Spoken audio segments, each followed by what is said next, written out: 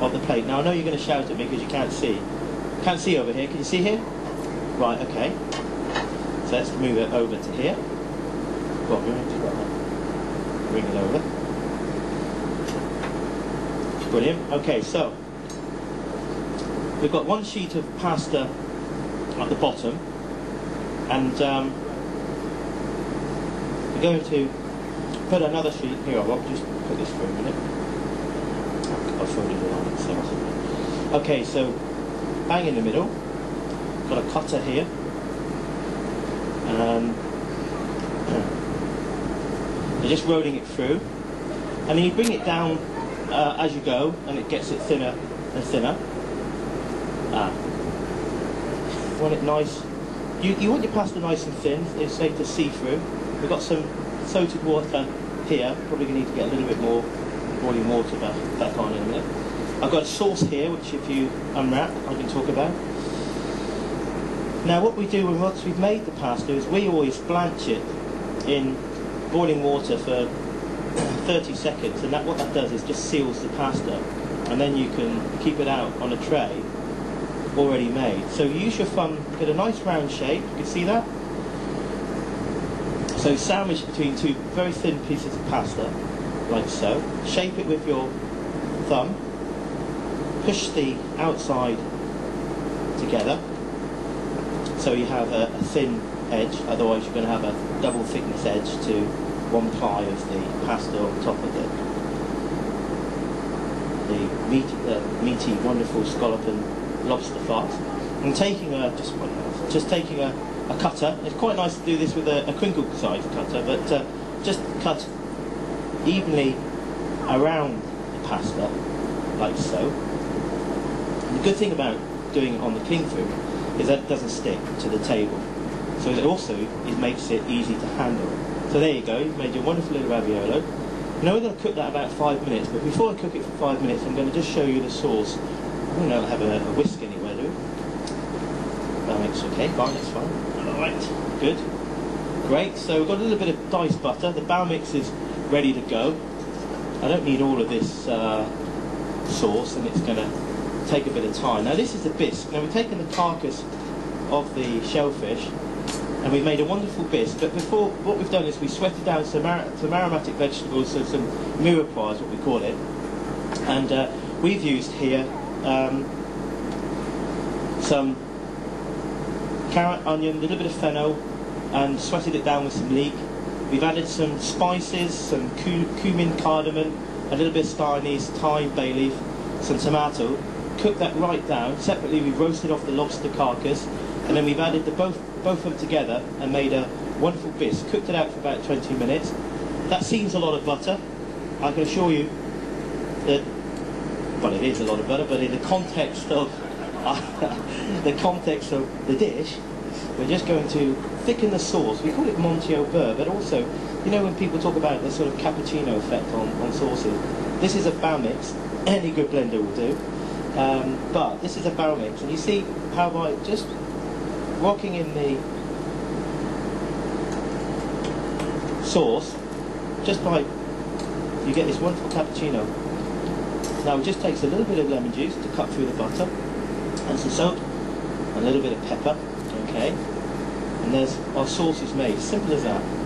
Now the cabbage here, we're going to cook up a little bit of cabbage first. I've got some, and we're going to put this lobster on a little bit of cabbage. So we're going to create a nice little base for the uh,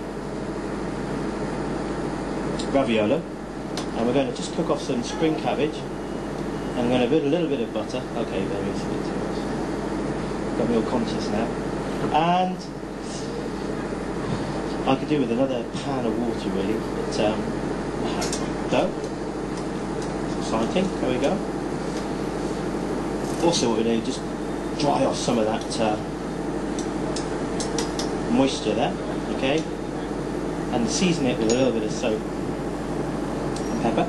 Now, seasoning is really important, guys. Um, a lot of people don't use soap and pepper enough. I know you've got to be careful about soap you're putting in, but the Romans had it sorted. They used to pay people in soap. That's where the word salary came from. And um, it's so important to use seasoning just to heighten flavours in in the food itself.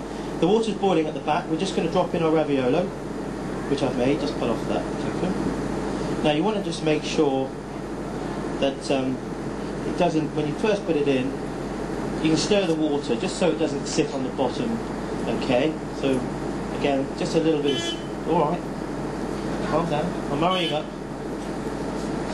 So um, a bit of water. Now if you're cooking lots of pasta, then put a bit of olive oil in there, and they say that stops it from uh, sticking together when you're doing things like uh, tagliatelle and, and, and, other shapes that you can get. Now we've got a, a, ring here, which we're going to put in the pan. We've got our raviolo, which is boiling away. It will be in a minute. This pan of water, Rob, if you just sort of swap it and all that. Yeah. Thank you, that'd be great. Now the cabbage is just sweating down. I'll go, oh yeah, Good. Well, good thinking. Right, got a tray, which I'll go in there. So, so I'd like to work on, on a tray. We've got uh, sauce over here, which is great. Lobster cooking. Tray here for the cabbage. Just drain it off, any excess fat. Go there. Just squeeze out the extra moisture. And then cabbage cooks, cooks down into quite a, a, soft, buttery texture, well not buttery texture, but a lovely, uh, uh, lovely texture, not, not, not too much crunch to the, to the cabbage itself. And then into that you've got a little bit of butter and seasoning, which is great.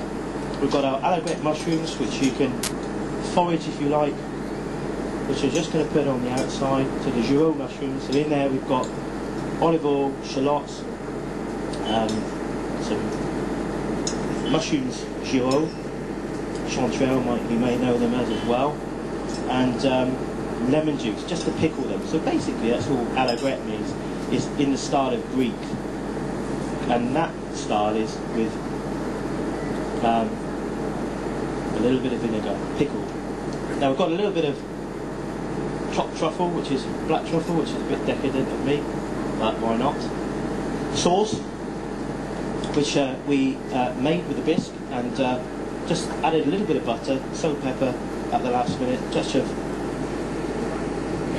lemon juice just to help cut through there, and that, that was that style that we call cappuccino. I've also got some lobster oil. The lobster oil has literally come off the top of the cooking of the Looking good. Right, good. Ah, there we are. Oh, I forgot something in the scallop, but never mind just seen it. Right, so just clean a plate.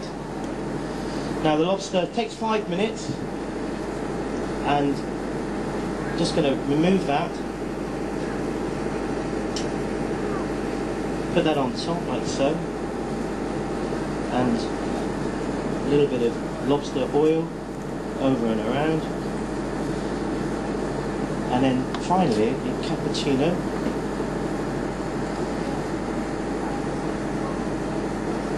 Don't want this too hot, generally about 80 degrees, otherwise all the bubbles burst. We'll just put a wonderful little bit of sauce. It's quite intense this sauce, so you don't need a lot. With the oils and everything else, it's great. And a bit of mushroom if I had one. What do I do with that? Oh, no, it's okay. Here you go.